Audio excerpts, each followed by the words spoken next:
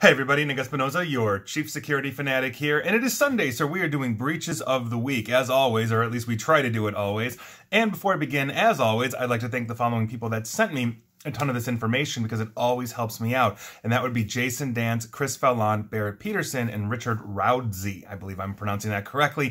Thank you so very much. And if you have a tip for me, please feel free to send it my way and I'll give you a shout out here and also on my nationally syndicated radio show as well. Now, with that, let's get going because we have an absolute ton of data breaches to cover this week. And the first one is Illuminate Education. This is education software. They had a data breach and student data, including full names, birth dates, student IDs, state IDs, grades, transcripts, and demographic information were accessed, but not social security or financial information. And so if your school district uses Illuminate Education, heads up to you. The first uh, school district to declare a breach is School District 50, uh, School District 51 in Grand Junction, Colorado. I expect there to be more. You know I'll keep you up to date. Moving on, let's talk about GitHub. Yes, the repository used by developers around the world. They have revealed details of a security breach that allowed an unknown attacker to download data from dozens of private code repositories. Now, the attacker apparently authenticated to GitHub's API using stolen OAuth user tokens that were issued to two third-party OAuth integrators. Those would be Heroku and Travis CI. Now, the attacker basically listed the private uh, repositories uh, and then basically uh, proceeded to clone them and and uh, basically walked away with them. And we are looking at quote unquote dozens of victim organizations. So if you use GitHub, the developers out there, and you're using Heroku or Travis CI, you definitely want to make sure you're changing those tokens up. I'm sure they're doing that for you already. Moving on we have to talk about T-Mobile again because last week I talked about T-Mobile and just going through the prolific amount of data breaches. And I'm going to be talking extensively about T-Mobile uh, in my radio show this week, but they are in the news in this last week. And this is absolutely nuts because as I said last week, I ended my my uh, my uh, breaches of the week with them and they're back here. So here's what's going on. In a post from Friday, security site Krebs on Security run by Brian Krebs revealed leaked chat messages between members of the Lapsus ransomware gang in which they discussed targeting T-Mobile employees with social engineering attacks designed to give them access to a victim's mobile phone number. Now, this is known as SIM swapping, and this tactic reassigns a phone number to a device owned by the attacker, therefore allowing them to intercept text messages and phone calls for password resets or multi-factor authentication codes. This is why we never recommend using text messages as your second factor of authentication. Go get yourself a good authenticator app. Now, using uh, T-Mobile's VPN credentials purchased on the dark web, Lapsus members were able to gain access to Atlas, which is a T-Mobile tool for managing customers' accounts. Again, according to Krebs on security. As some of the gang members argued over whether to focus on the SIM swapping tactics, one person used the access to run an automated script that downloaded more than 30,000 source code repositories from T-Mobile and their own development stack. So obviously T-Mobile is just rife with vulnerability. And uh, as I detailed, uh, you know, as I was uh, basically recording that segment for my radio show ahead of time, because, you know, I travel and it's just easier sometimes to record my show as opposed to do it live, uh, this is what I was talking about, is that they are just just they've had something like seven breaches since 2018. It is absolutely nuts. Moving on though, because we've got a lot of fish to fry this week, we're going to be talking about the United Kingdom's Army. That's right, the UK Army. So here's what's going on. the Army's online recruitment portal has been offline for more than a month following a data breach. Now, officials shut down the computerized enrollment system in the middle of March as a precaution after the personal data of more than 100 UK Army recruits was found being offered for sale on the dark web. An investigation was launched to determine whether the cyber criminals had hacked into the internal uh, defense recruitment system and exfiltrated recruits' personal data. Data reportedly exposed in this incident includes full names of um, full names, dates of birth, addresses, qualifications, I assume, to join the army, and previous employment details as well. So heads up, if you are attempting to join the army in the UK, make sure your data is safe. Moving on, speaking of defense, let's talk about Blue Force Inc. According to their website and I quote, Blue Force operates a unique nexus between the Department of Defense and the Department of State. We currently maintain a balanced portfolio of missions in each department. Blue Force has operated in over 40 countries to date. And on April 10th, or excuse me, April 20th of this year, Blue Force unfortunately had to send out data breach letters to all parties who information was leaked as a result of a data breach. Now, based on that letter, on May 4th of 2021, last year, almost to the day, Blue Force uh, basically experienced a disruption in some of its computer systems. Now, in response, the company enlisted the assistance of an outside, outside third-party cybersecurity uh, consultant, and they began looking into this. The basically the investigation confirmed that unauthorized parties who orchestrated this attack had access to certain files, basically in the Blue Force network, on May 4th of 2021. So here we are. They sent a letter out to everybody. Now, while Blue Force's letter does not disclose any additional details about the breach, some news outlets report that the Conti ransomware gang is claiming responsibility for this attack, and here we are. So there you go. If you have anything to do with Blue Force, hopefully they've let you know. Moving on. Let's talk about MailChimp, and this is all according to a class action suit, so understand that this is one side of the story and not MailChimp's, but I think it's important to report as well. Here's what's going on, and I quote, Intuit and its subsidiary MailChimp failed to prevent a data breach earlier this month that resulted in millions of dollars of stolen cryptocurrency, and that is according to a new class action. Now, the plaintiff, Alan Levinson, claims Intuit and MailChimp failed to ensure its data systems were protected, prevent the breach from happening, or disclose it in a timely manner. Mr. Levinson also claims that unknown attackers were able to obtain the customer list for users of Trezor, which sells offline hardware cryptocurrency wallets, due to basically information being negligently stored, quote unquote, by MailChimp. Now, the attackers use that information to send out phishing emails purported to be from Trezor that stated, quote, data has been compromised and that their cryptocurrency was, quote, at risk of being stolen. And that's again, according to the class action. I remember reporting on that when that happened. Obviously, that was a huge thing. A lot of people fell for that scam. Now, Mr. Levinson also claims that users were uh, directed to a fake Trezor website where they were, quote, prompted to download a new version of the Trezor Suite desktop application, which gave the attackers access to the account information. I remember reporting on that as well. And Mr. Levinson also says that approximately $82,000 worth of cryptocurrency was stolen from his account by these unknown attackers, and he blames MailChimp and Intuit for allowing this data breach to occur. Basically, MailChimp got hit. Uh, they were sending out phishing emails uh, that basically looked like legitimate customers of MailChimp. And they were targeting cryptocurrency, and here we are. So obviously, MailChimp and Intuit, I guess the parent company, I had no idea Intuit owned MailChimp, uh, has things to say about that, but that is from the class action lawsuit. So understand that is one side of the coin. I'm sure MailChimp and Intuit have a lot to say. Moving on, let's talk about Adaptive Health Integrations of Williston, North Dakota. The U.S. Department of Health and Human Services said that Adaptive Health was the target of a hacking slash IT incident, and this data breach was reported to the government earlier this month. Now, this happened on or about October 17 of last year. Quote, an unauthorized individual may have accessed a limited amount of data stored on our systems. And so here you are, they disabled their network to fix it, et cetera, et cetera.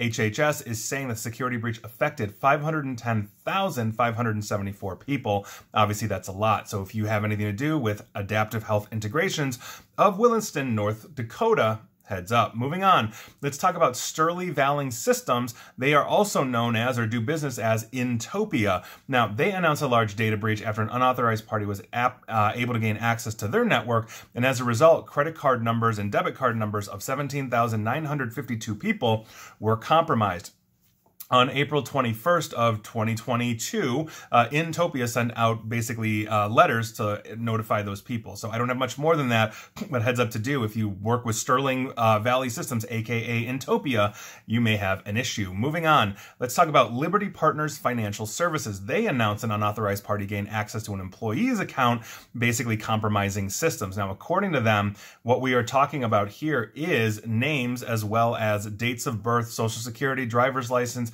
state IDs, passport numbers, bank account, credit or debit card numbers, biometric data, medical information, and health insurance information. On April 22nd of this year, they issued data breach letters to basically everybody. So heads up to you if you use Liberty Partner Financial Services. Moving on, let's talk about Smile Brands. They got hit with a ransomware attack, and subsequent data theft impacted approximately 2.6 million of their patients. Now, Smile Brands is a dental support services vendor, and Smile Brands reported the incident to Department of HHS on June, uh, basically on June 24th, 2021 or rather the incident happened on June 24, 2021 and impacted 199,683 individuals. However, the latest filing with the Maine Attorney General's office shows that update has that update tally has been increased to 2,592,494 individuals including employees of Smile Brands. So heads up to you for Smile Brands for all your dental whatever. Now, moving on, let's talk about Battelle for Kids. This is a company that houses students' state testing information. They got hit with a ransomware attack. I don't know much more than that, but the first school to declare that Battelle for Kids got them hit was the Lakota Local Schools in Cincinnati, Ohio.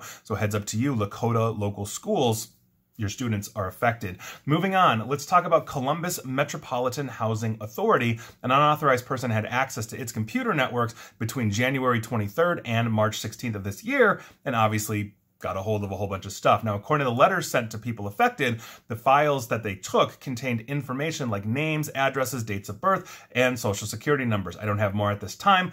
Heads up Columbus Metropolitan Housing Authority in Ohio. Moving on, let's talk about Mint Mobile. This is the smaller cellular carrier best known for being owned by famous actor Ryan Reynolds. Mint Mobile basically is facing several claims brought by a customer who says that Mint, basically Mint, uh, a Mint data breach, I should say, exposed his personal information and caused him to have $466,000 with the with uh, worth of cryptocurrency stolen. and that's according to a California federal judge who basically adjusted these claims and all that kind of stuff. It just says who trimmed the claims uh, from the article that I'm quoting here. Now, Daniel Frazier sued Mint, alleging that it failed to secure the personal identifiable information of its cell phone customers, allowing attackers to access their names, addresses, email addresses, phone numbers, account numbers, and passwords. Because his information was uh, exposed, Mr. Frazier says the attackers were able to hijack his SIM, open up account with a different cell carrier in his name, and then obviously go to work stealing his information and his money. So we'll see where this goes. Obviously, it's a huge problem. It's a big black eye for Mint Mobile, who has pretty catchy commercials. Moving on, I want to give you an update on Wawa. You might remember they had a massive data breach. Um, basically, Wawa has turned around and sued MasterCard International for at least $10.7 million for basically what Wawa claims were unjust penalties assessed for their 2019 data breach. Now, Wawa accused uh, purchase-based MasterCard of violating data security protocols in a lawsuit filed on April 18th in U.S. District Court, White Plains. Now, the credit card company unjustly enriched itself, the complaint states, quote, through fraud, duress, and taking of undue advantage by leveraging its position to unilaterally withhold funds that it knew or should have known it had no right to withhold. Looks like Wawa is trying to recoup some of their monetary losses to their data breach. If you recall, they got a class action and everybody that shopped at Wawa got, I believe it was like $500 uh, like debit cards from from Wawa. So we'll see what happens there. But heads up to you, uh, Wawa, if they if it goes deep enough with Mastercard, they may have to stop taking Mastercard because Mastercard may pull out. Moving on, let's talk about the Tacoma, Washington-based dental supply company Burkhart Dental Supply.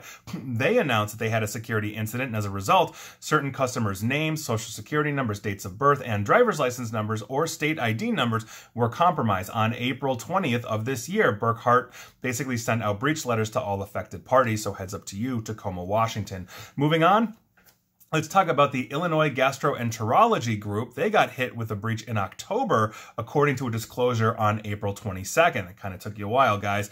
Now, they discovered this unusual activity, as I said, on October 22nd, 22nd of last year, and they launched an investigation with a third-party group on November 18th. They found that an unauthorized party had gained access uh, into their systems and the affected patients may have had their information compromised, including names, social security numbers, address, dates of birth, driver's license or state ID, and financial account information. So if you are a patient of Illinois Gast Gastroenterology Group, heads up to you, you may eventually be entitled for compensation. Moving on, let's talk about Wyandotte County in Kansas, and I believe I'm pronouncing that correctly because as of April 27th, basically a mid-April attack, um, basically, this was reported on April 27th. The mid-April attack on the county's computer systems continues to cripple basically services in the county, including the court system, meaning they've shut everything down. Local reports believe it's ransomware, but the county has not confirmed yet. And so if you live in Wyandotte, Wyandotte County in Kansas, uh, right now your local government may have a hard time servicing you. Heads up there. Moving on, let's talk about the Chicago-based South Shore Hospital. This is actually an update from a December uh, cyber attack that left 115,617 patients, 70 patients, protected, uh, basically uh, vulnerable. They're protected information or protected health information. I cannot speak today for the record, but we're going to get through this. They are now, South Shore Hospital in Chicago is now facing three different lawsuits. Now, these lawsuits were all filed by former South Shore patients, which were filed on April 5th, April 7th, and April 18th. The plaintiffs allege the hospital failed to adequately protect patient data, and here we are. So there you go. If you have anything to do with South Shore Hospital or caught up in that data breach, you might be able to file a lawsuit along with the other three. Moving on, let's talk about the Portland based Oregon Anesthesiology Group. They are being sued by a Portland patient over a breach of health and personal data last year that may have involved the information of hundreds of thousands of their patients. Now, this patient is seeking class action status for the lawsuit and wants, among other things, for the court to order the anesthesiology practice to upgrade its data protection and pay for identity theft and credit monitoring for patients for at least three years. I'm always for credit monitoring and identity management uh, and identity monitoring as well. I'm also all for upgrading security security systems, hopefully it shouldn't have to take a class action to court order to get companies to do it. So heads up, if you uh, use Oregon Anesthesiology Group, you may be able to join a class action lawsuit if it gets off the ground. Moving on, let's talk about Arkansas medical provider AR Care or R Care, which is what I'm calling them. They had a quote unquote malware infection don't know much more about that, but personal information that could have been hit was name, social security, driver's license or state ID, dates of birth, financial accounts, medical treatment, prescriptions, medical diagnosis or condition, and health insurance, and 345,000 individuals may have been affected. So if you use R Care, the Arkansas medical provider, heads up to you. Moving on, let's talk about, and I'm totally going to butcher this, I do not speak French, the GHT Coeur Grand Est Hospitals and Healthcare Group in Northeast France. We're just going to call them GHT. Now, the cyber attack occurred on April 19 and caused GHT to disconnect the internet from their hospitals to prevent the attack from spreading and uh, basically to thwart further data theft. Now, the hospital network says the attackers also managed to copy out administrative computer data stored on their systems and warn that the threat actors may publish or use this data, but patient care continues as usual while the software used in the hospital was not impacted by the incident. So even though their internet is cut off, their internal IT systems remain online and they are able to service patients, just not get out to the internet. Moving on, let's talk about Coca-Cola. Yes, the Coca-Cola, one of the largest corporations in the world, they're investigating claims of a large-scale data breach by Russian-linked cyber uh, cybercrime gang known as Stormous or Stormous. Now, the ransomware group posted on its website this week that it successfully hacked the servers of Coca-Cola and stolen 161 gigabytes of data. It also offered that data for sale for about $64,000 uh, US. Obviously, it's about 1.6, 1.7 Bitcoin. Um, Stormous did not specify the type of data it stole, but Coca-Cola says they are investigating and will figure this out. Obviously, that's a pretty low number for Coca-Cola, which leads me to believe Stormous didn't get anything of interest uh, that could, let's say, help them run identity theft scams or make them money. And so here we are. They didn't get the secret formula to Coca-Cola. Now, moving on.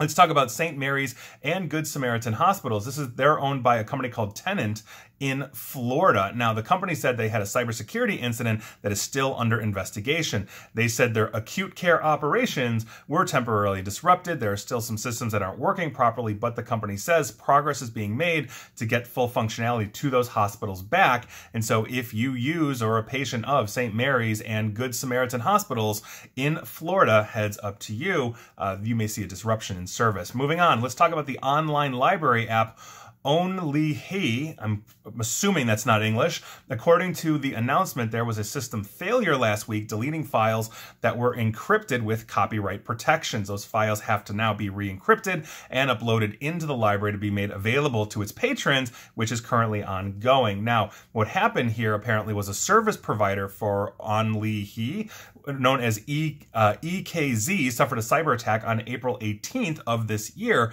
which basically rendered some of their specific systems that this online library was using, and Lockbit ransomware gang is claiming responsibility. So there you go. If you use the Only He, Only He uh, online library app, Heads up, it is down. Thank you very much, Lockbit. Moving on, let's talk about the government of Costa Rica. Yes, the entire government. Um, apparently, they had basically um, a disruption due to a ransomware attack, which was claimed by the Conti ransomware gang, according to the Associated Press. Now, issues related to the attack were first reported by the country's finance minister this past Monday, which noted that the intrusion has compromised tax collection, importation, and exportation systems, prompting shutdowns as well as granting of tax payment extensions, because uh, obviously obviously, if they can't collect the money and you still owe taxes, they're going to want it eventually. Now, Conti has already re- leaked 50% of the data that is stolen, including over 850 gigabytes from the finance ministry, the Social Security Agency, uh, the, yeah, the Social Security Agency's Human Resources System,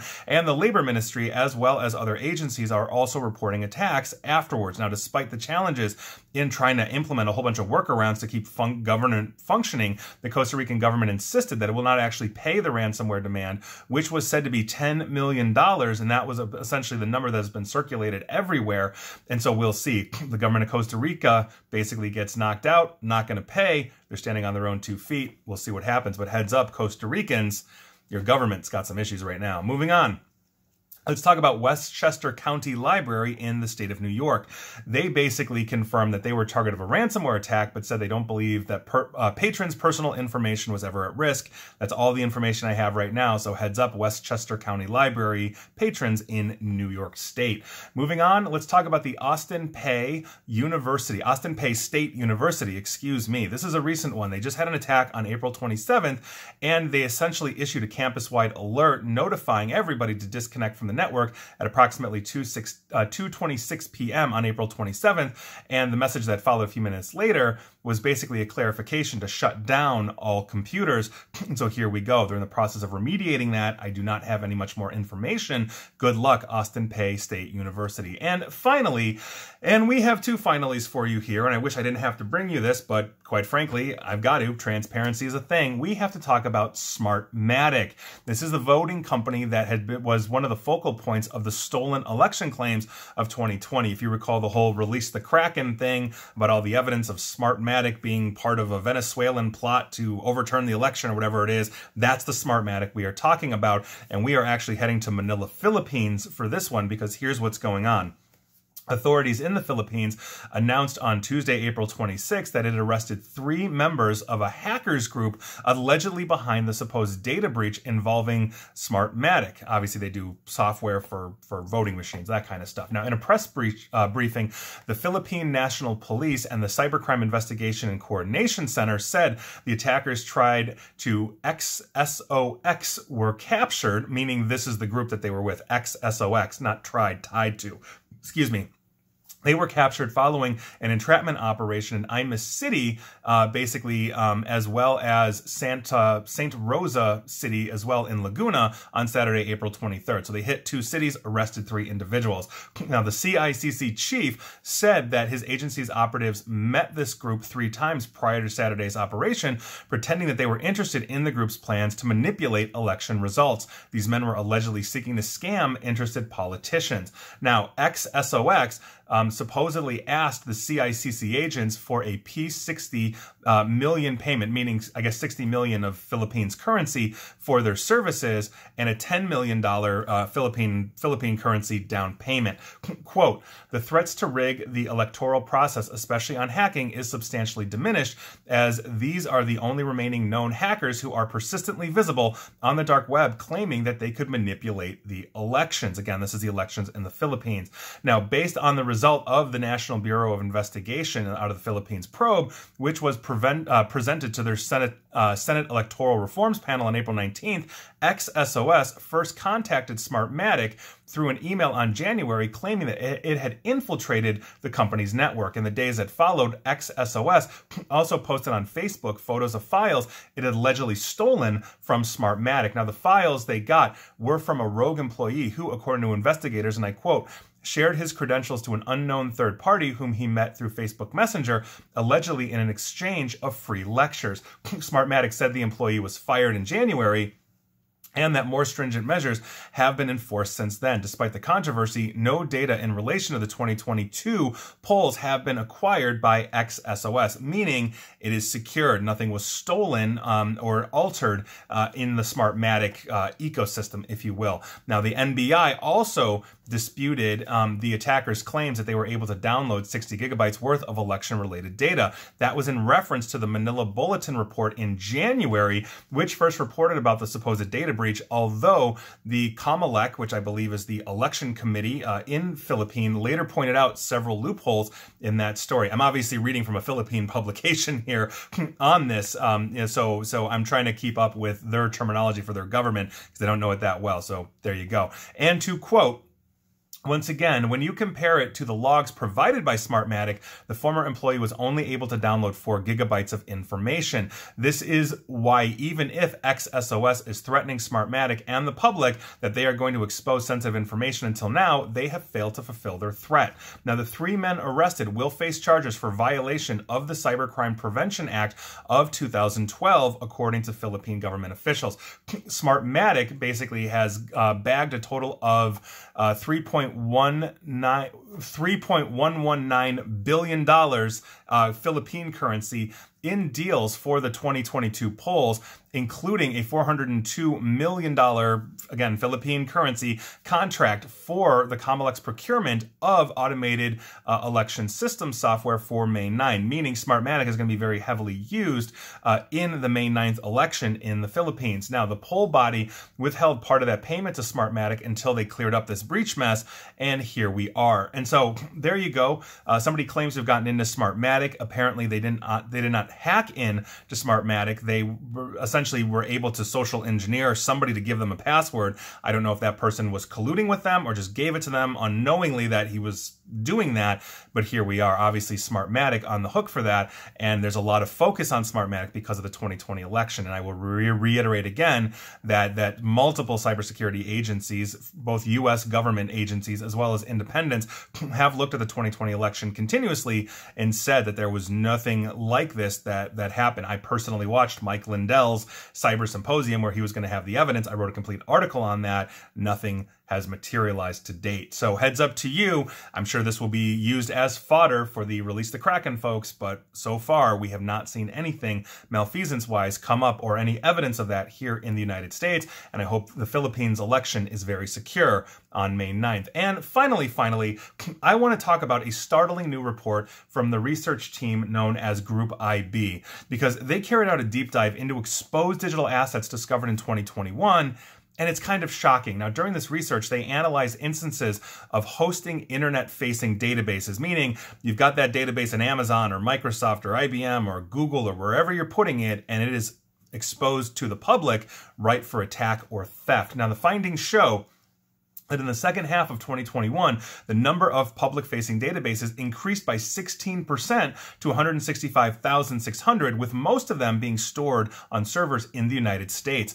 The number of databases exposed to the open web has been growing every quarter to reach its peak of 91,200 in the first quarter of 2022. Now, corporate digital assets that are not properly managed undermine security investment and increase the attack surface of corporations and organizations. The consequence consequences of an exposed database range from a data breach, uh, follow-up attacks on employees or customers because their information has been stolen, all those kinds of things. Having open databases is a terrifying thing. Now, as the pandemic progressed, with more people having to work from home, oftentimes in emergency situations, if you all remember, we all got kicked out of the office to come home, corporate networks keep getting more complex and also more extended. This inevitably led to the increase in the number of public-facing assets that were not inventoried properly. Asset management is an incredibly important thing. Now, in 2021, nearly $1.2 billion worth of penalties have been issued against companies for violating uh, things like the GDPR. And specifically, uh, this is the kind of thing we're talking about. These exposures basically violate GDPR compliance. Now, according to IBM, the average cost of a data breach uh, basically rose rose from 3.8 million, 3.86 million US to 4.24 million last year. And in many cases, a data breach starts with a preventable security risk, such as a database that's open that could have been secured. Now, as such, in 2021 alone, Group IB identified 308,000 inst, uh, incidence of databases exposed to the open web. The number of public facing databases keeps growing almost every quarter since the beginning of 2021 to peak in uh, first quarter of 2022. Most of those exposed databases were discovered between the first quarter of 2021 and the first quarter of 2022, and they were using what is known as the Redis database management system, meaning the majority of those exposed databases were using Redis. Now, when it comes to management of high risk digital assets, timely discoveries obviously play a key role as attackers are quick in spotting a chance to basically get in and steal sensitive information or to get further into the infrastructure of the organization. And according to these findings, in the first quarter of 2021, it took an average of 170.2 days for an exposed database owner to actually fix the issue. Meaning you have over just over 170 days of an exposed database at least at least out there. The average time was decreasing gradually over 2021, but it climbed back up uh, basically to the value of 170 in the first quarter of 2022. Now, country-wise, last year, most of the databases exposed to the open web were discovered on servers located in the United States, which means the United States continues to be the number one target for attacks in the world, uh, specifically cyber attacks. And we all know we're gearing up for Russian cyber attacks and all that kind of stuff. So this was a crazy long breaches of the week. Obviously, there's a ton there. Uh, we're going to say everybody was affected. Let's just go with that this week. And there you go. I'll see you next time. And please like, share, follow me here on Facebook and Twitter at NickAESP. And please feel free to subscribe to me at YouTube as well. And as always, stay safe, stay online, and please stay private. Thanks, everyone.